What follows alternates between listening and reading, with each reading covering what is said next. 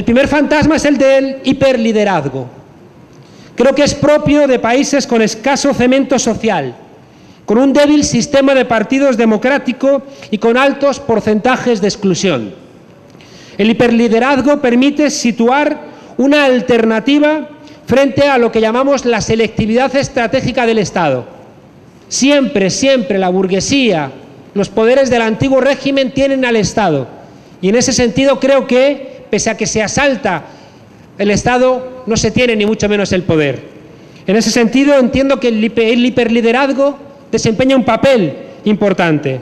Tiene la ventaja de articular lo desestructurado y de juntar la fragmentación con formas de lo que llamaba Gramsci cesarismo democrático.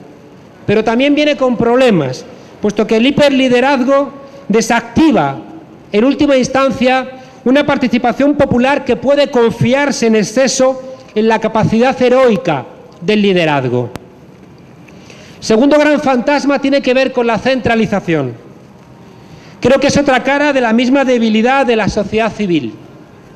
La descentralización se usó en Venezuela para, para que entrara de facto el neoliberalismo más duro, pero en un mundo complejo, en un mundo donde cada sector de la sociedad funciona como una isla. La descentralización es un requisito de eficiencia, otra asignatura pendiente para pensarla. El tercer fantasma es el clientelismo partidista, que no puede ser ayer de un signo y hoy ser de otro. Creo que el clientelismo partidista funge como una forma alternativa de articulación política, pero que siempre es inferior en términos de emancipación a las formas impersonales que tienen detrás el imperio de la ley, los derechos civiles, políticos, sociales, identitarios. Además, el clientelismo siempre roba la dignidad de aquellas personas a las que se clienteliza. El cuarto fantasma que identifico es el de la mentalidad rentista. Creo que esta mentalidad rentista es la que lleva a pensar que en Venezuela todo el mundo es rico y no hace falta trabajar para vivir y que por tanto se exige al gobierno soluciones para llevar adelante la vida. Aún recuerdo cuando tuve la fortuna de acompañar al presidente Chávez como asesor, una vez saliendo de Miraflores, una señora gritando, una señora gritando, Chávez, o me das una casa o no te voto. Creo que esa mentalidad rentista sigue muy presente y creo que igualmente es un fantasma que lastra el vuelo libre de la revolución bolivariana. El quinto fantasma es un fantasma conjunto, el de la corrupción y el de la ineficiencia, que creo que son las dos caras de un mismo problema porque se es ineficiente en el aparato del Estado, se cuela la corrupción. La lucha contra la corrupción y la ineficiencia articuló la campaña del 98, pero aún está esperando una respuesta.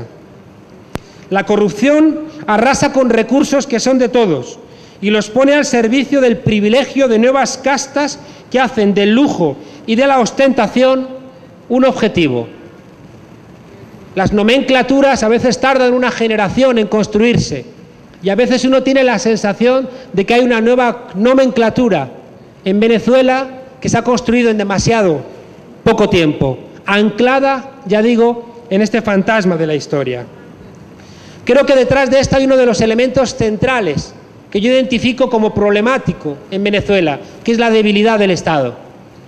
Venezuela que fue capitanía general y no virreinato, una Venezuela que armó su Estado al mismo tiempo que hacía del petróleo su recurso por excelencia y que armó desde el Estado una estructura política clientelar y que no terminó de armar una regulación impersonal. Caminos verdes, resolver, cuánto hay para esto, son frases asentadas en la cultura política de Venezuela al igual que los cambios ministeriales dentro de un mismo gobierno, que hacen que cuando cambia al ministro se arrase con todo el personal que trabaja en la administración, o que hace que cuadros esenciales para este proceso pasen del ministerio a la alcantarilla, se sienten en el banquillo y se desperdicien recursos esenciales para la marcha del país. El sexto fantasma tiene que ver con el militarismo. Creo que la Quinta República ha solventado buena parte de este problema con la unión cívico-militar, pero creo que se necesitan formas más audaces que avancen en cuál es el papel que le corresponde al ejército en una democracia socialista. ¿Dónde están? Todavía podemos preguntarnos los estudios que aventuren nuevas formas de esta relación que aún están pendientes. El último fantasma que creo que aletea por este país es el de la violencia.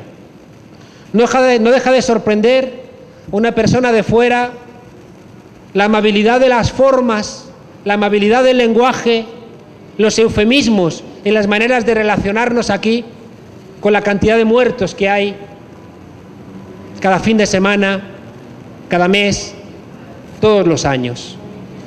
Creo que hay una asignatura pendiente en esa violencia que se verifica en el tráfico, en la relación, que se verifica en el trato con los compañeros, en el trabajo, creo que es una asignatura pendiente que obliga a enfrentar, creo que con menos amabilidad, porque de, reclama, creo, ser desvelada. Termino. Este es un abanico de problemas pendientes.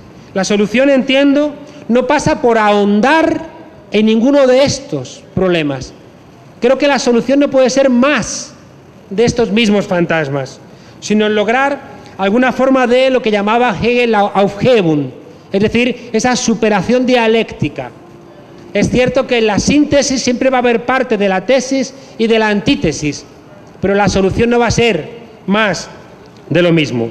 Una superación que siga alumbrando, como hasta ahora ha hecho, el camino de la emancipación a este pueblo y a los que lo miran atentamente desde América Latina.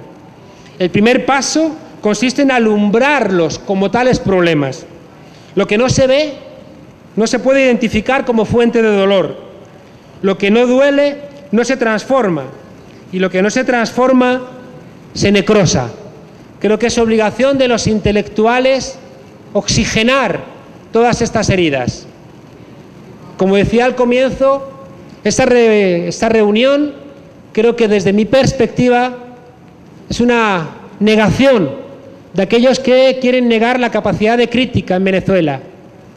Creo que esta reunión es una invitación a la esperanza y creo que del coraje que aquí demostremos, de la astucia de nuestro pensamiento, creo que va a salir una parte importante de nuestra colaboración para que esta revolución siga siendo bonita. Gracias.